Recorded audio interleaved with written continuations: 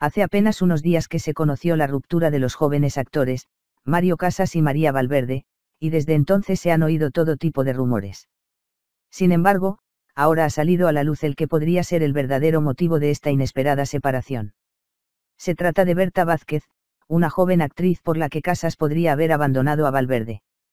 Ambos se conocieron rodando la última película protagonizada por Mario Casas, Palmeras en la Nieve, en la isla de Gran Canaria. En la película ella interpreta a una enfermera que se enamora de Killian, el personaje de Mario Casas. Al parecer, este bonito romance podría haber pasado de la ficción a la realidad.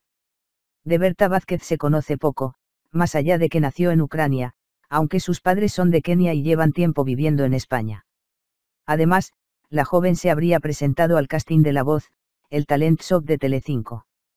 En cuanto a María Valverde, que se encuentra en un buen momento profesional con el reciente estreno de la serie Hermanos, confirmó hace unos días a través de las redes sociales lo que ya era un secreto a voces.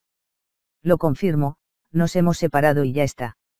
Me encuentro muy bien, súper feliz, expresó.